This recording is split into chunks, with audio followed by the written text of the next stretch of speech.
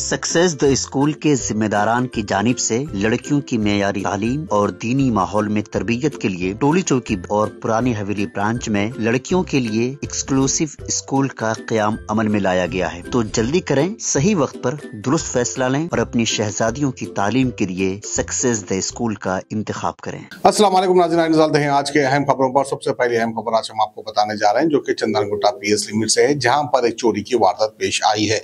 बड़ी अफसोस की बात है कि एक गरीब ऑटो ड्राइवर के घर में एक चोर जो है उसके छत पे चढ़कर तीनों को तोड़कर अंदर दाखिल हो गया और घर में से जो है चालीस हज़ार रुपए कैश बालियाँ और इसके अलावा निकलिस का बॉक्स भी चोरी कर कर फरार हो गया है।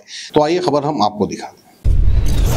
सलामकुम हम ऐसा घर में नहीं थे, घोड़बड़ी शरीक को गए थे और हमारे घर को लॉक ये गेट को लॉक था, बाहर अंदर का दरवाज़ा खुला था पूरा और निकलिस पैसे थे हमारे और दो जोड़ी बोलियाँ थे। कैश भी था कंगन जी हाँ कैश भी था।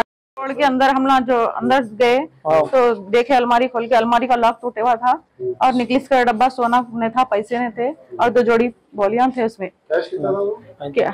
चालीस। हज़ार था पैसे। और लोगों के देने का था वो चिट्ठी के पैसे रखे हुए थे हमारे। और दरगाह को जा रहे हैं बोल के हम किसका ने भी नहीं रखा है घर में थे। दूसरे दिन आगे कलीज गए हम दो बजे। ये टाइम आके देखे तो लॉक खुल बंद था हमारा खुला था। किस पे शक है अम्मा? नहीं अभी तो नहीं मालूम हुआ। इससे पहले हुआ कभी? नहीं कभी भी नहीं हुआ कुछ भी। फ़र्स्ट टाइम है ये ये खुला ही रहता सुबह हम खुला ही रख के जाते कहीं भी। पहली बार। पहली बार फ़र्स्ट बार हुआ ये। अस्सलाम वालेकुम। मैं चरंगुट्टा फुलबाग में रहता हूँ मैं। मेरा नाम मोहम्मद खादर है।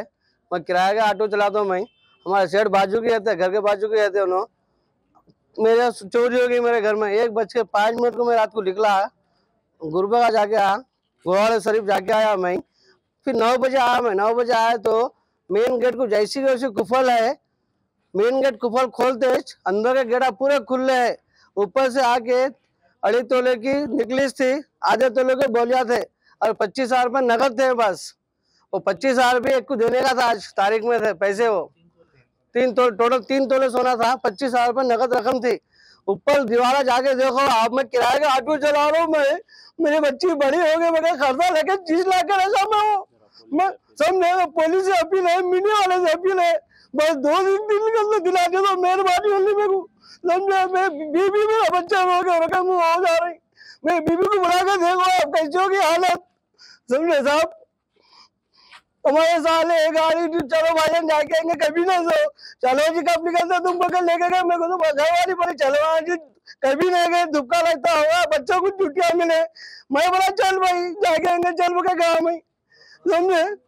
पूरे अतराफ से घर है गली में पूरा कैमरा ले सब आप। मेरे द्वारा छोटे है। खुद के आगे मौका का पता उठा लिया मार करे साहब समझे? बहुत बेकार है साहब। मैं समझे? चरंगुटा पुलिस स्टेशन सर्कल साहब सीएस साहब अच्छा ताउन कर रहे हैं हमारे साथ में।